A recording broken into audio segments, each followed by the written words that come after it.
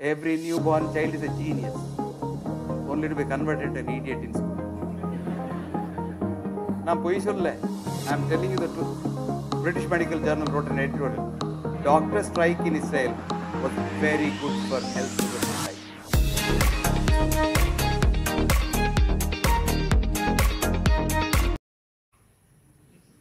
Alexis Carrel so beautifully wrote, Every newborn child is a genius only to be converted into an idiot in school. நான் பொய் சொல்லல ஐ அம் telling you the truth because every child on the day it is made in the mothers womb which is called as zygote one cell one cell human body is not like a motor motor mechanic one heart with fixed and in the like ford companies thing and then you become a body no you are one cell one cell that one cell divides divides divides divides and today you are a colony of 120 trillion human beings how do we be happy keep all these 120 trillion fellows happy if you did that, the 120 trillion people in your colony will interact with the 120 trillion people in his colony or his colony. Now they love one another. You must see that. There's a biophoton camera now. If you take a picture, you see how these cells are so happy jumping about. They're in sync with one another. Disease means some part of the body, they are not happy. It's all energy and my energy flows into you. My leptococcus jump into you, your leptococcus jump into me, and we love each other. We are all related. We are all related. Let me tell you, you are all very close relatives of mine, because all our consciousness comes from the same universal consciousness, and the individual consciousness is what comes to the zygote on the day you are made in your mother's womb, and that brings you all the wisdom in this world, posteriori and priori. So education is not teaching something somebody doesn't know. That's what we think. You know, there's an old saying, old saying, when we were young, we say, a good teacher teaches. A better teacher demonstrates. A still better teacher explains. But the greatest teacher inspires. So what is education? Educe, educe, E-D-U-C-E in Latin means deliver. So I always call all teachers as midwives. What does the midwife do? Stands by the side of the pregnant mother in pain, coaxing her, cajoling her, empathizing with her, sympathizing with her. But who delivers at the end? Who? The mother. But in the class, who delivers? The teacher. That is the problem. You have to stand by the side of a student in pain, in suffering, in difficulties, coaxing him or her, cajoling him or her, empathizing with her, sympathizing with her, provoking her, prachodayat and then the student will deliver. That is called education, deliver. That is why Swami Vivekananda read many years ago said, education is the manifestation of the perfection which is already in man. There's a beautiful way of saying that in Sanskrit. Dagdam, dagdam, punarapi, punaha, kanchanam, kantavarnam. You want gold to be shining? You to heat it and beat it. Heat it and beat it again. Heat it and beat it. Gold becomes kantavarnam. So beautiful so shiny. So that is exactly what is education. But unfortunately, what happens in the Indian education system is a brilliant child which knows everything in this universe when it is born. And you must see, you know, I have written an article the other day, I was seeing some child in, in a bus, you know, in the airport bus. You know, have, uh, some, many of must have this experience. You get into the airport bus, then the bus waits for the VIP. VIP, you know, very insignificant people, they come last. oh, you didn't know that. ಅದು simple law. These people come last. People come last do know why they want be important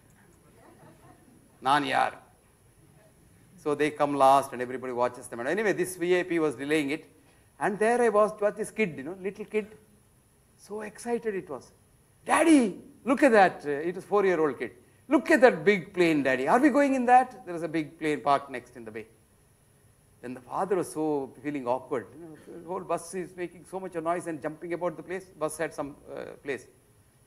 Then daddy said, hey, keep quiet. And they had another kid to look after, and that was two-year-old kid, so it had to be fed. So they were concentrating on that kid. This, this fellow will again jump. See, daddy, that big other big plane is moving, moving. It's moving like a bus. Are we going in that? I don't want to go in that. I want to go in the plane which is flying. Just see the curiosity.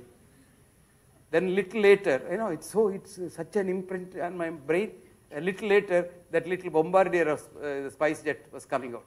Hey, that baby of the plane, I want to go in that baby, daddy. I want to go in that baby. You see that? Now the child starts going to school, then child will stop doing all this. Then if you ask the child, no, no, no, no, I have to mug up, I have homework. 2 plus 2 is 4. Is 2 plus 2 is 4? eh? You do that. And the child is completely become an idiot after that. That is what Alexis Carrel so beautifully wrote. Alexis Carrel is not an idiot. Alexis Carrel is a Nobel laureate. He is a surgeon. And he is the one who taught all of surgeons how to stitch vessels. Because olden days we used to stitch vessels and it to collapse. He made a triangular mathematical model and a different kind of stitches so that the vessel remains over. This fellow gets a Nobel Prize. He wrote a book called Man the Unknown. But don't read that book because he's a Jew. You know, at the end, last two chapters are horrible. He says all mental patients are a economic strain, drain on the, on the society. So gas, put them in gas chamber. Don't have mental hospitals. He was right in one way. Mind is not in the brain, but psychiatrists give chemicals to the brain. So these chemicals make the patient eventually Alzheimer's, demented. Because you can't reach the mind with the drug. And the professor of psychiatry in Washington University who wrote a book on this lost her job. Because she was against the industry. Finished. Her name is Elizabeth Grace Jackson. Please read their book. Dementia, a drug induced crime on mankind by doctors. Thick book. Lost her job, but the book is getting her millions of dollars. She's going around the world selling that and lecturing. Oh, you want to write down? Dementia, a drug induced crime on mankind. Grace Elizabeth Jackson. Get their book. It's about $16, not much. Anyway, coming back to stress and distress. Where is it all situated? Mind. Where do you manage your mind, time? Mind. Where do you manage your health? Mind. All diseases, from common cold to cancer, originate in the mind and die in the mind. Where is the mind? In every cell of the human body, these 120 trillion cells. And every cell has a mind, and depending on which part of the mind you are worried about, that you get a disease there. Did you get that? So, what you should do to be healthy is simple, very, very simple. Two things. I told you stand, don't sit. So, what is health? Enthusiasm to work, enthusiasm to work. And what is health? Enthusiasm to be compassionate. Enthusiasm to be compassionate.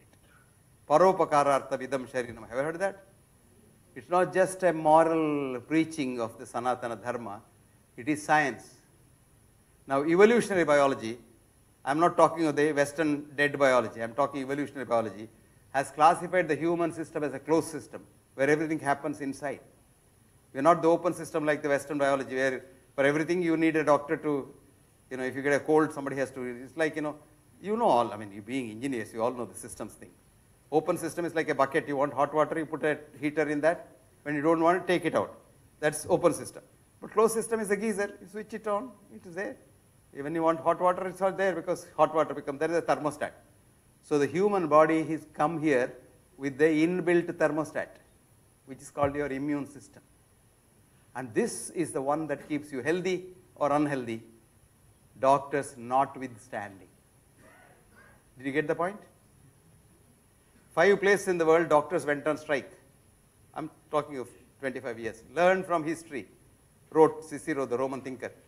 If you do not, you will relive history. What happened? Saskatchewan in Canada 25 years ago, Los Angeles County 15 years ago, Bogota in Colombia 10 years ago, Col- Dublin, St. John's Hospital, James Hospital in Dublin 10 years ago, and recently in Israel.